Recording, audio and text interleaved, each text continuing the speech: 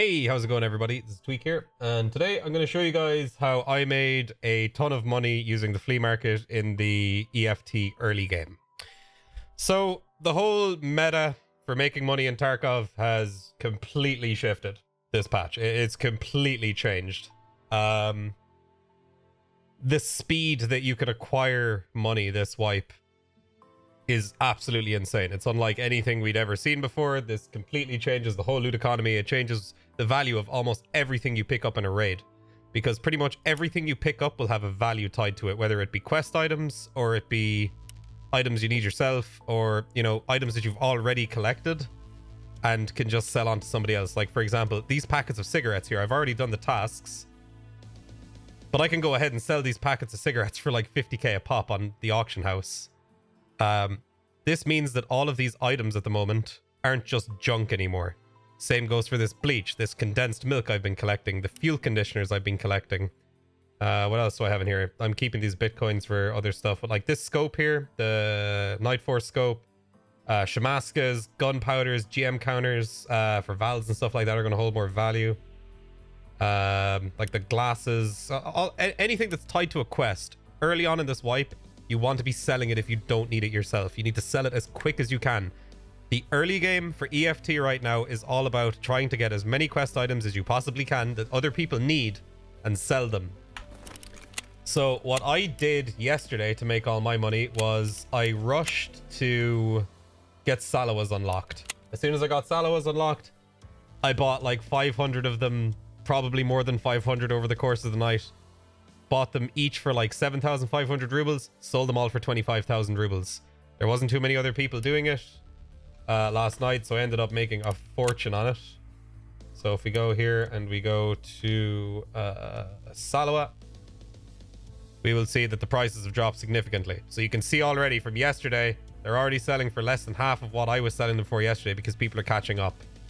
Um, what I did today was I found that the hammer scope and this pistol grip um, from Peacekeeper was required for one of the gunsmith tasks. So I've had these slowly selling all day. I've only sold about 20 of them so far.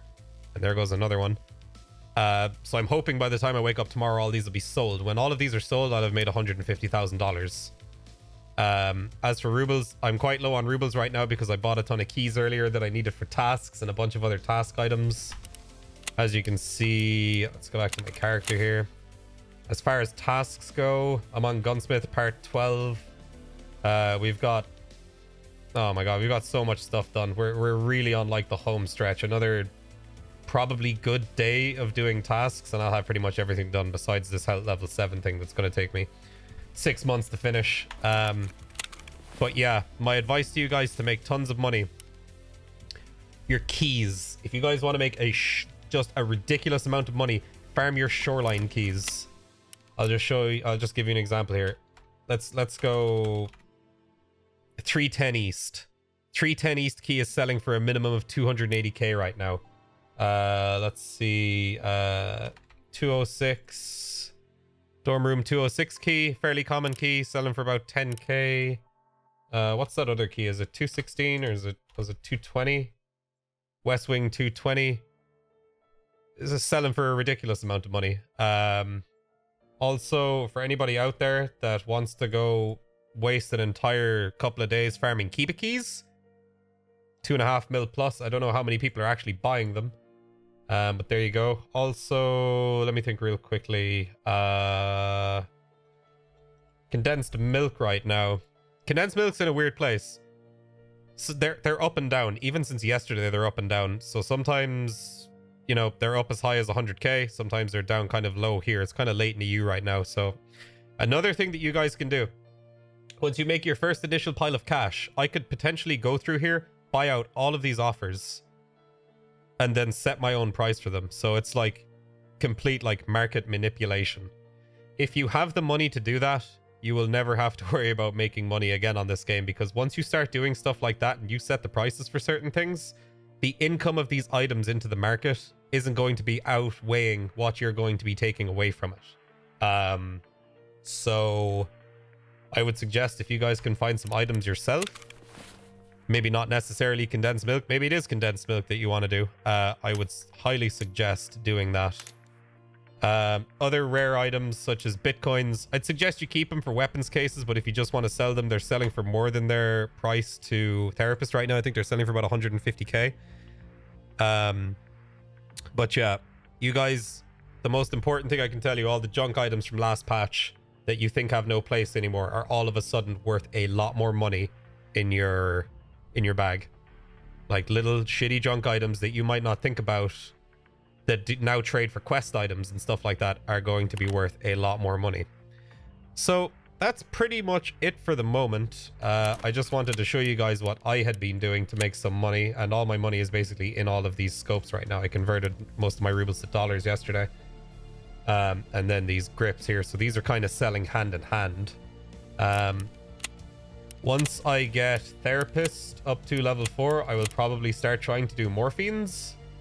But like all I can say to you guys is that it doesn't matter if you're getting up to if you're not level 40 by the end of the week or you don't have the high level traders unlocked.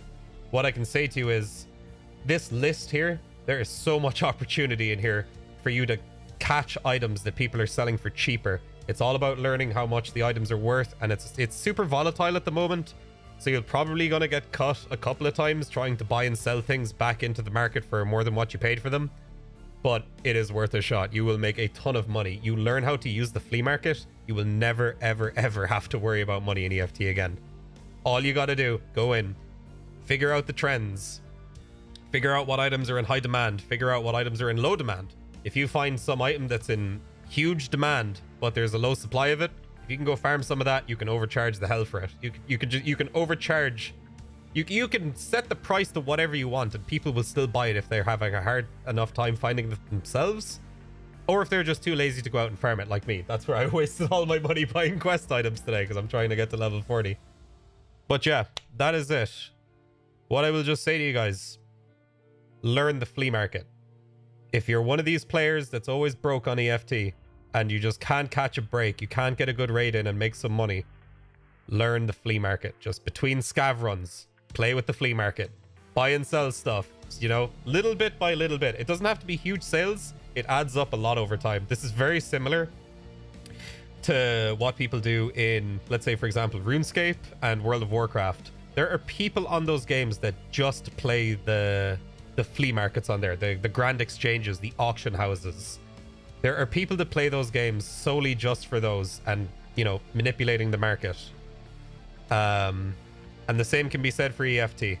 It's going to be volatile for the next two weeks, so right now is probably the best time to get in here and just start sniping and grabbing things and selling things for more than what people would normally rationally pay for them. But yeah, that that's my advice to you guys. Learn the flea market. Look for opportunities. Farm things that are in huge demand but in low supply. And yeah, you will be absolutely loaded in no time. So guys, I hope you're all enjoying the patch. I hope you guys enjoyed the video. If you did like the video, make sure to leave a like, hit the subscribe button, and hit that fucking bell thing or whatever. I don't know. I hear all the other YouTubers saying it in their videos. But I am live every day from 8 p.m. UK time until whatever time of the morning show goes to bed and I, I follow her in. Um, at twitch.tv slash tweak. There'll be links to my Twitch channel in the description. And yeah, if you guys have any questions, leave a comment. If you guys have any ideas for any uh, future videos you'd like me to make, leave a comment. And yeah, that's pretty much it. So guys, best of luck with the wipe and good luck with the flea market. If you guys have any huge successes with it, I'd love to hear about it. So yeah, till the next video, guys. I will see y'all later.